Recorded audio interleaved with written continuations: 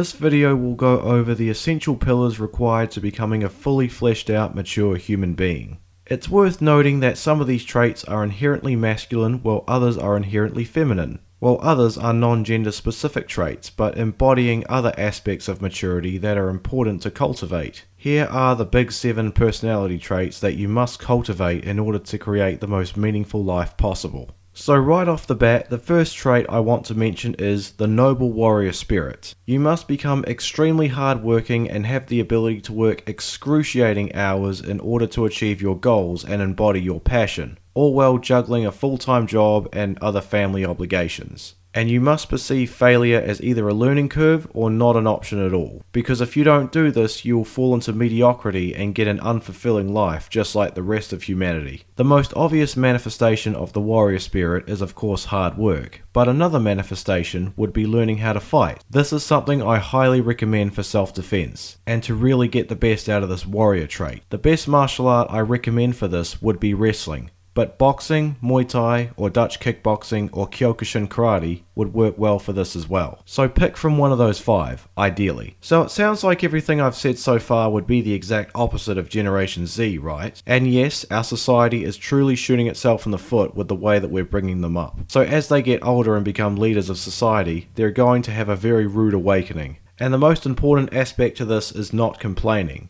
Complaining weakens your willpower and makes you complacent. And not only that, excessive complaining also leads to developing mental health issues which can rob you of cognitive energy. Now moving on to the next trait, is assertiveness. This is important because you don't want people taking advantage of you and using you as a means to an end. And if you have a strong work ethic but don't set boundaries and standards, then you're unconsciously creating an open door policy to be exploited by others. Because there are low integrity people out there who seek the path of least resistance, who are not willing to put in the mahi to achieve their goals. So they seek out those with a good work ethic and are also dumb enough to let their guard down. So assertiveness is necessary to counteract people like this.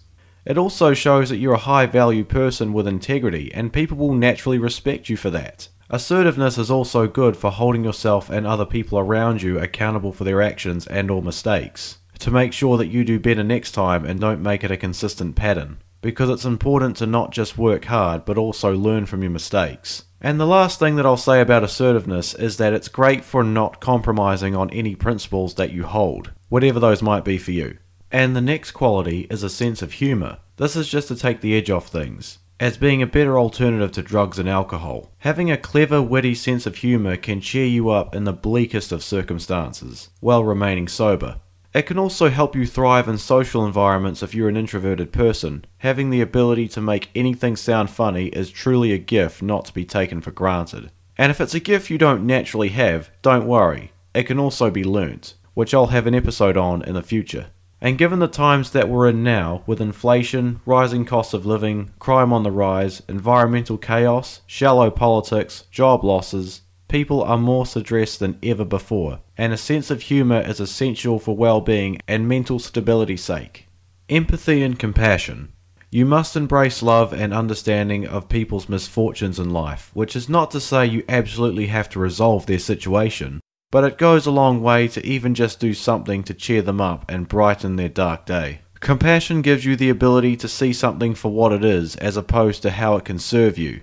That's huge right there, to see that. It keeps you in touch with the human side of life by connecting with friends and family rather than just living like a soulless robot. And it completely burns away your desire to manipulate anything to make the circumstances align with what you want for yourself. If you go through life not being able to put yourself in other people's shoes and understand how their circumstances and upbringing shape who they are, then you will forever feel alienated and disconnected, and as a consequence, massively depressed. This also ensures that relationships have a good foundation built on trust and genuine love, rather than neediness and manipulation. Now, before we move on, it's worth noting that compassion has both a masculine and a feminine dimension to it. Feminine compassion is what we might call compassion in the classic sense where it's all about empathy and love and helping people with their needs. Then we have masculine compassion, which is more blunt and direct, where it takes more of a disciplined approach to help someone correct a bad habit that could result in their death or them ruining their life.